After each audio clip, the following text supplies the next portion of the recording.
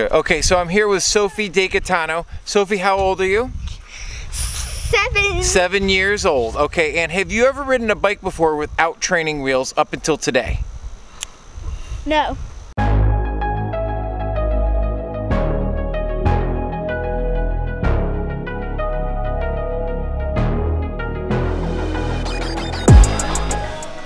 What's up, everybody? Today could be an epic day we're about to find out. A few weeks ago, I posted a video of, of Sophie DeGaetano riding the Strider bike at the shop. Okay, so that was three weeks ago. She has never ridden a bike. Today, the training wheels are off, the gloves are off, we're at Kipling Manor in Yulee, Florida, and we're about to put it to the test.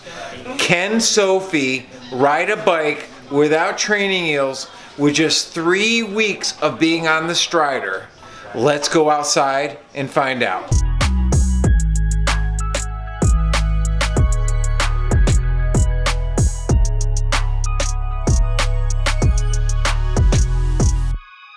Okay, so I'm here with Sophie DeGaetano. Sophie, how old are you?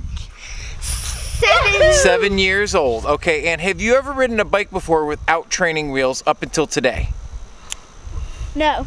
Okay, and about how long ago did we give you that Strider bike to, to uh, use at your house? Probably three weeks. About three weeks ago. And about three weeks ago, were you able to ride a bike without training wheels?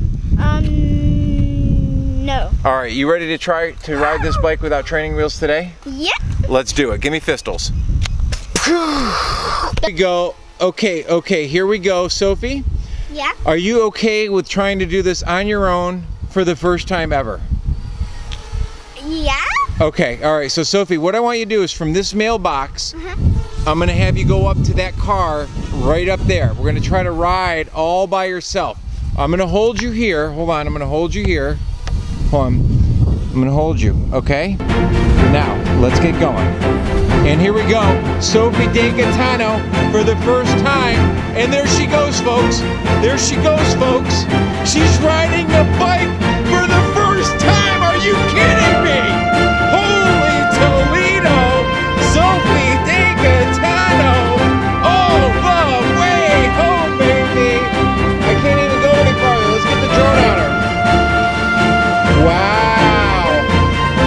Sophie, congratulations!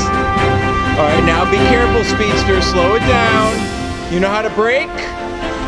Back pedal. Good, good, good. All right, stop for me. Back pedal, stop.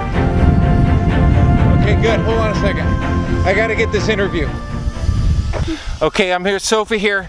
Sophie De DeGaetano. Sophie, uh-huh. how does it feel to learn how to ride a bike?